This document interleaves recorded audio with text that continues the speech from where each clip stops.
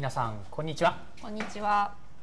えー、と8月23日ですね。今日は金曜日。時刻はよあ14時、えー、40あ17分失礼しました。はい、17分、えー、ちょっと遅くなりましたけれども、えー、普段はですね。青森県庁の情報を青森県庁からニュースより一足先にお伝えしている青森県庁なのですが今日はスペシャルということで、えー、我々今日ちょっと東京に出張しております。でここはどこかと言いますとおとですね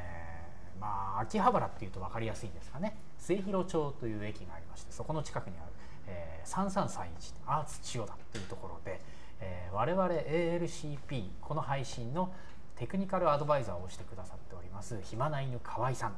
あ今映っておりますけれども、えー、この河合さんのですねオフィスのある、えー、オフィスの廊下から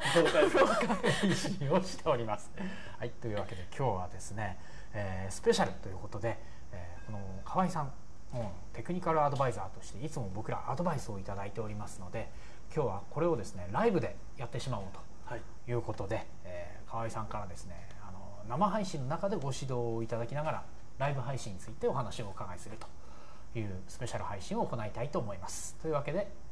改めましてご紹介をいたしますけれども、えー、株式会社ひまな犬の河合さんでございます。こんにちは。よろしくお願いいたします。お願いします。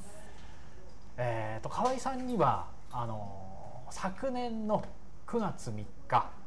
あとですね僕らの記念すべき第1回の配信えー、記念定談配信と言いましたけれども、ね、え、はい、あちらの方でですねあのユーストリームアジアの中川社長とあとは青森県観光連盟理事の久野さんと一緒にご出演をいただいてその時に河合さんもご出演をいただいて、以来ですね。確か。僕らのユーストリームにご出演するのはそれ以来、はい、えということでよろしくお願いいたします。はい、今日はねこんな廊下みたいなところからやってますけど、はい、まあどこでも今ねこういう HD で情報発信ができると、えーうん、あの1時間もあればあのこういうスタジオができてしまう。今回は僕喋りながら自分をスイッチングするというセルフスイッチングという新しい芸人のような技でやっております。これを押すとカメラが切り替わります、はい、すごいですね。さっき話してる間もずっと河合さんがスイッチングをしてくださっている、はい、自分が出たい時は自分が押してるんです。俺？のターンみたいな感じですか？俺のターン自由自在です、まあ、それもなんかちょっとありな気はしますよね、まだクイズ番組みたいなもんですよね。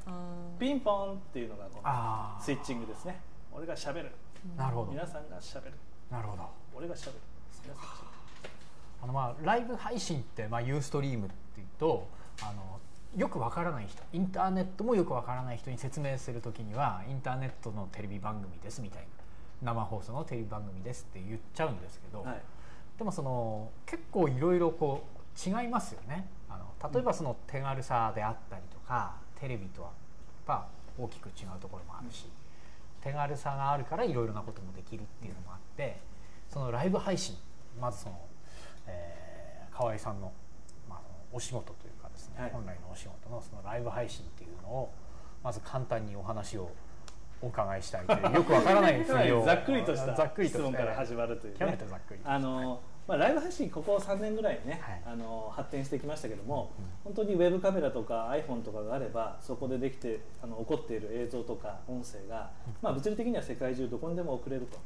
だからその場で起こっていることをこう転送できる、うん、だからドラえもんとかであのどこでもドアってのありましたよね。どこでもドアっていうのは物理的にドアを開けたらそちら側に行けるっていうものですけども、まあライブメディアはそっちには行けないけどもそっちで起こっていることを開けると、まあ、そこがウィンドウになってて覗けると。いうことなんですよね。でその覗き穴っていうところが僕はライブメディアの面白さだと思っていて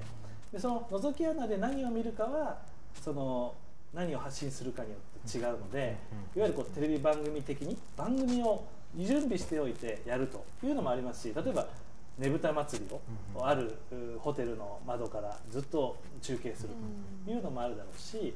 えー、つまりそれが今まではテレビ局のこう大きな中継車がやってきてね、よく見たことありますよねこうアンテナが秘密基地みたいにアンテナが出るようなね、ああいうものがもう一式何千万の機材何億の機材とえーまあ、サテライトだったり、うん、えー、その特殊な機材で、えー送るというものが本当にインターネットの回線だけでできるようになったのが、えーまあ、2010年以降の出来事と言えるんじゃないでしょうかね。でそれを真っ先にまあ交換庁として活用されているのが、まあ、青森県庁になるということでこの配信がすごいのは県庁の職員が3人だけでやっている